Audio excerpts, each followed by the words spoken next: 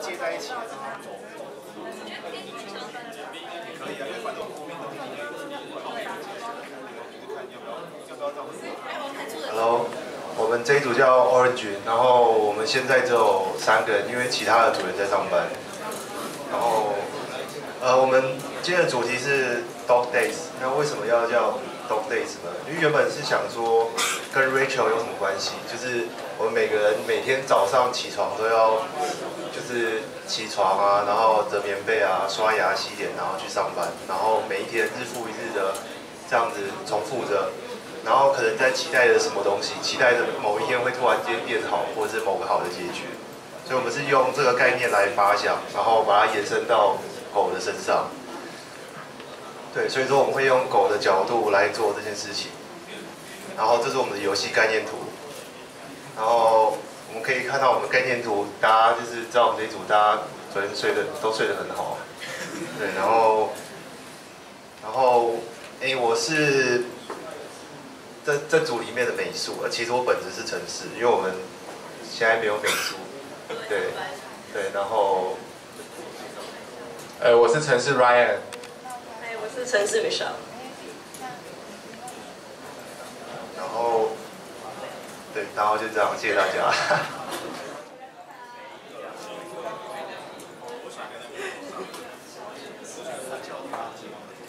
我们的游戏就是这只狗会往前进。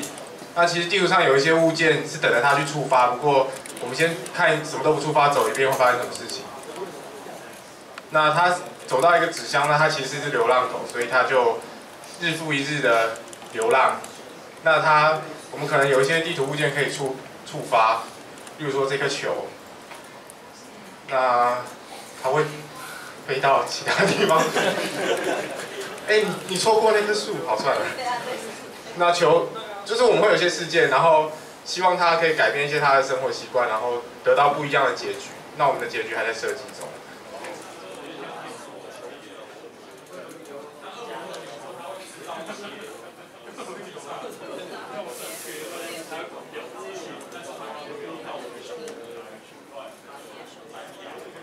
Hello，大家好，我们这组是 B 组，然后我们今天做的游戏是 Dog Days，然后就是英英这次的主题是 Ritual，所以我们就想到说是从每天的惯例行为、日常生活来发想，但是我们不想要做就是人的部分，所以我们做的是宠物的每天的日常生活，然后在这个游戏里面，你就是可以很自由的去选择跟物件互动。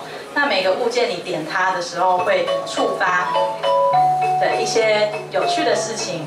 那但是呃最后如果你点击的物件触发的并不是成功的条件的话，那你就会重复每一天。那直到你呃自己探索去找到这些成功的条件，那你就可以回到你温暖的家，然后过这一关这样子。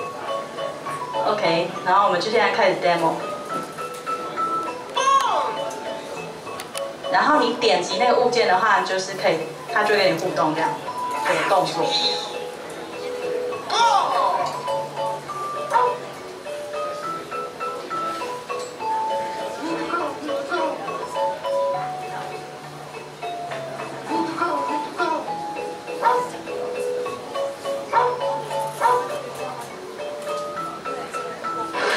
对，然后你经过水池的时候，你就会被喷到。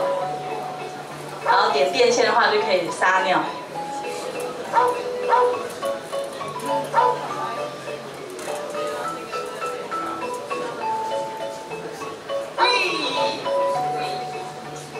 对，然后点树的话，那个风筝就会飞走。但是因为你脏了，所以你就不能回家了，只好当个流浪狗。OK，然后就会到第二天。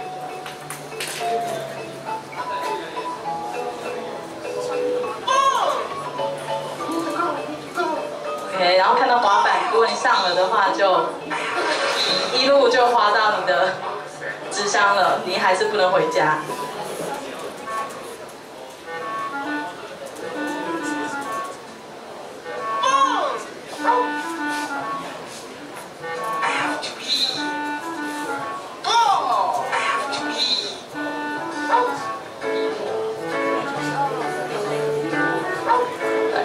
点树的话，树上会才会掉下你的项圈。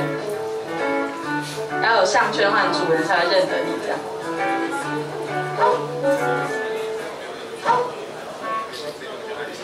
对，然后如果你推倒那个树枝的话，你就不会被水泼到。对，然后这边会有一只诱惑你的女狗这样。那如果你被诱惑的话，你还是回不了家。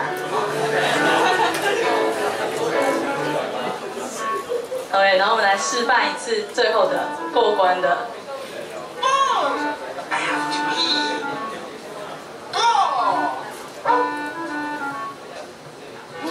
然后那个球的作用其实是把它踢过去，然后把那个女狗呃打打倒这样子。